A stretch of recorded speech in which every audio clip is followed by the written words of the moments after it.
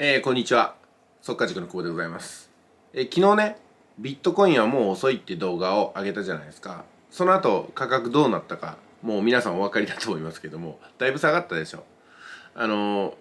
ビットコインに限らずなんですけども、投資商品って、みんなが注目しだした時って、必ずね、よし、ここが売り時だなっていうふうに仕込んだ人は考えてるわけなんですよ。で、そういうポイントが何箇所かあります。で、今回、570万とか80万あたりで、そのポイントが入って、で、550万ぐらいでね、えー売りを考えていた人がもっと多かったわけなんですよ。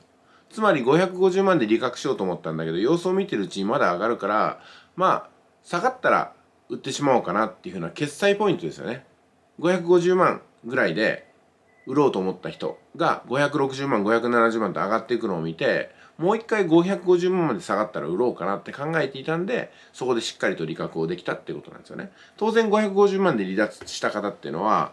売った分だけその分だけ価格下がりますんでね、530万になり、520万になりってことになるわけなんですよ。そうすると、それぞれそのポイントで売ろうと思っていた人がね、待ってるわけですから。要するに、買われすぎて、自分の決済ポイント以上に値段が上がってるから、まあ、売りを躊躇してるタイミングを見ているっていう方がね、結構いらっしゃるんですよ。じゃあですね、投資の基本原則に戻ってみましょう。一体、いつまでにいくら儲けたくてやってるのかってことなんですよ。ね。そうすると、例えばね、350万で仕込んだ方が、ある枚数を仕込んだ方がですね、自分の目標利益に、まあ、例えば2000万としましょうか。そうすると、550万ぐらいで2000万に達したら、あれは利確するじゃないですか。で利確したらガクンと落ちますよね。で、利確した時に、じゃあ誰がね、売りを出した反対側で買ったのかっていうと、その高値で掴んでる人が買ってるわけなんですよ。で、ビットコインが350万とかになっちゃった時って、多くの方がもう怖くて手を出せなかったと思うんですよ。でもそこで買った人がいるからね、例えば500、5、60万に上がることを見越して買った人がいるから値段が上がっていったわけですよね。うん、これ今までも何回も言いますけども、ちょっと笑いが出てすみませんけども、同じことの繰り返しなんですよ。儲からない人って高値で買うでしょ。で、しかも、これからももっと上がりますよっていう人の言うこと信じるでしょ。ビットコインが600万目指しましたとかいうね、動画とか見たんじゃないですか。えーあれ分かってないですからね。そういうとこじゃないんですよ。600万目指すんだけども、一旦ガクンと落ちてまた堅調に上がってきてってとこなんですよ。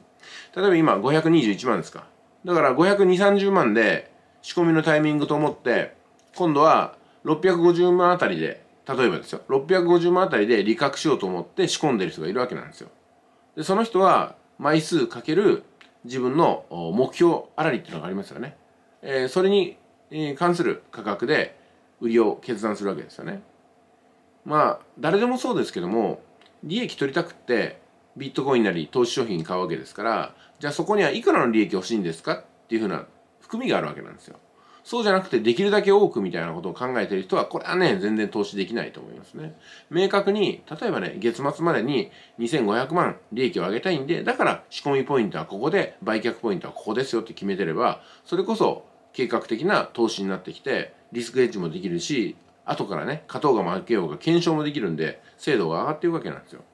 だからなんとなくこの辺でみたいなことをね、言ったりとかね、あ、この投資家さんがこういうふうに言ってるからやったとかね、これ全然頭使ってないんで、勝ったにしても進化する買い方ではないですよね。で、結局エントリーと、それから利確なり損切りなりを繰り返して投資って行われてるわけじゃないですか。となるとね、一回エントリーしているたんびにエントリー上手にならないといけないですし、一回利確するたんびに利確が上手にならないといけないですし、一回損切りするたんびに損切りが上手にならないといけないんですよ。それをなんとなくでやってたら、これ一回も上手にならないんですよ。だから、何年やってもダメってことになります。あの、はっきり言って投資でね、投資でですよ、一部の方は除いてですけども、5年、10年やって資産ができないって、それは無駄な時間過ごしてるんですよ。投資なんですから。目標金額が達成すれば投資の世界から足を洗って、あとは一生安泰にね、細々と暮らしていけばいいわけですよね。うん、だからね、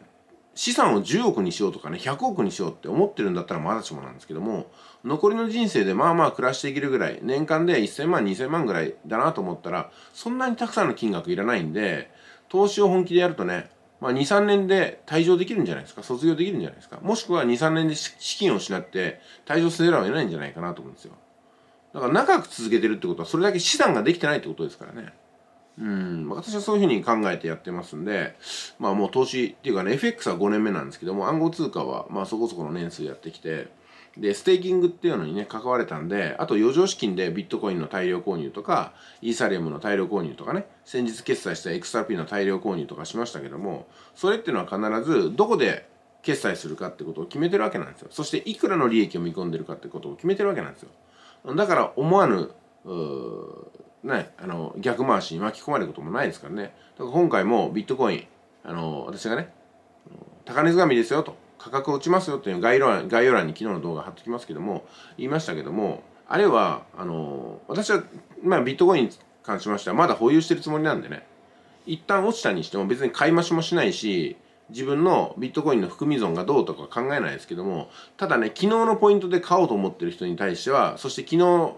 ポイントで600万目指すと言ってる人に関しましてはちょっとね気づきがあったんじゃないかなと思います。もう今までもこういう動画何回も上げてますけどもパターンですからねこんなの。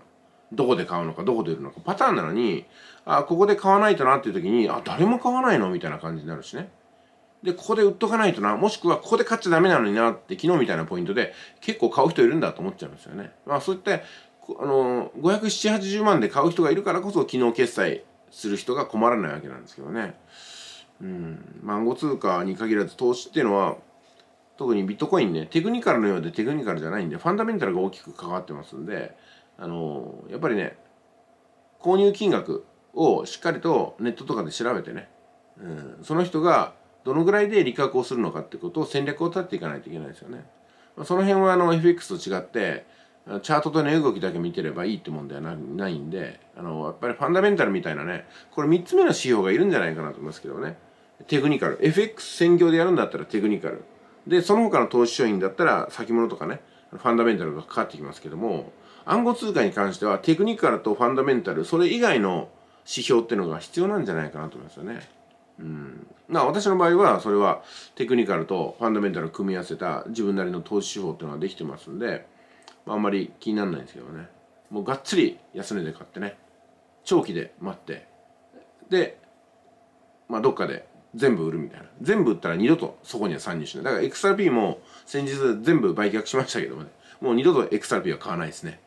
あとだからイーサリアムの大量購入が残ってるのと、えー、エクサあなんですかね。ビットコインの大量購入が残ってます。んでこれも一つずつ決済していきますから。特にイーサリアムは100万円の近くに来るまでは決済しないですけども100万円の近くに来たら一気に決済しますんでそこでもしかしたらちょっとインパクトが起きるかもしれないですね。他のねあの有力投資家さんも同じこと考えてると思いますよ。だから100万を目指して80万90万で売る。そこに売却の大きなあパワーが潜んでますからね。これはテクニカルでは測れません。まだあのイーサリアムはその辺りまで金額いったことがないんでゾーンも引きませんからね。ただ私たちのあのまあねなんかこう勝てる投資家の抵抗体はそこにあるかなと。これ多分連絡取り合ったらじゃないけど共通認識としてあるんじゃないですかね。イーサリアム100万ラインっていうの。100万って切り番でもありますしね。心理的にそこで一旦売りたいような気持ちはあるんだと思いますけどね。100万に至るまでに40万とか50万で売却するのはちょっとこれはねああれなんですよね。あの小物なん小物っていうかね、うん、まあ何と言いますかね言いにくいですね。そこはちょっとねまあそういうフェーズもあるんですよ。40万売り50万売りっていうフェーズもね。まあでもやっぱりねイーサリアムに入った以上100万でしょ。あの1万2万ぐらいで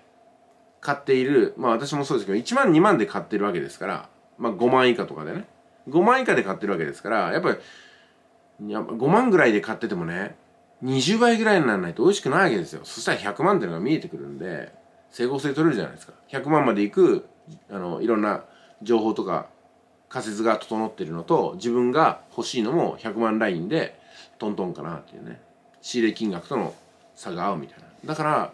30万とかでイーサリアム買っちゃうと100万人いってもたった3倍なんでそれじゃあやる意味なくないみたいな。リスク抱えてやるのにたった3倍かみたいな。思っちゃうんですけどね。皆さんどういうふうにお感じでしょうか。それでは失礼します。